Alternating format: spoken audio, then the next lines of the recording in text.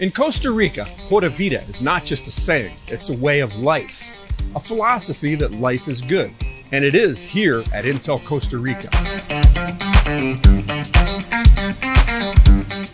Since 1997, Intel Costa Rica engineers have tested, debugged, validated, and manufactured tens of millions of computer chips. What was once a coffee plantation just outside this country's capital is now a 107 acre complex, which includes an assembly and test factory, engineering design center, multiple labs, a product warehouse, and more. Come along with us, and we'll take you on a quick tour. Costa Rica's assembly and test manufacturing facility is critical to Intel's success. Technicians test and manufacture 50% of Intel's server products. They produce 5th gen Intel Xeon processors, codenamed Emerald Rapids, manufactured on Intel 7 technology.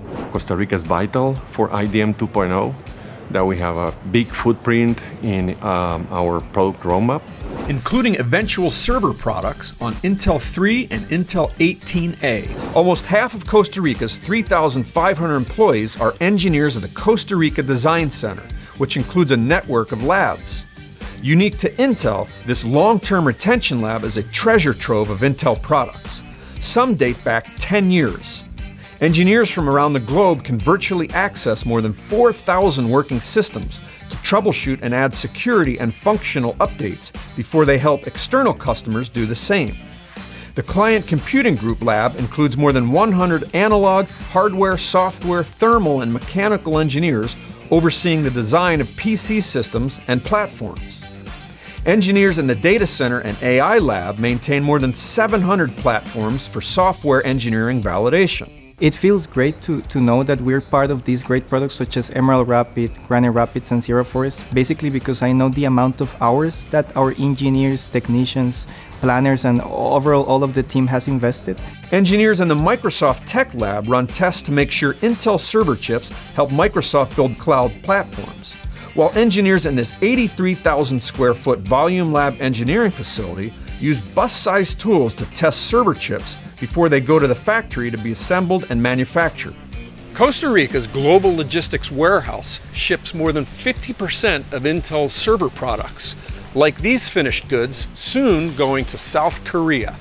Since 2020, warehouse workers have shipped more than 26 million products to 108 different customers in 44 countries. We love activity, we love to be shipping. Actually, we almost never stop. The only time of the year that we stop is uh, one day at Christmas, end of the year, and Holy Week. The rest of the 363 days we operate, and 24 by 7, by the way.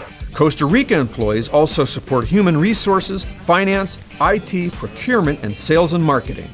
We can see and we have witnessed our purpose of changing the lives of everyone on earth in this country.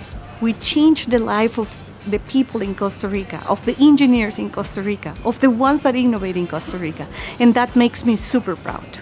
Intel Costa Rica's motto is turning passion into value very fitting for their pura vida spirit.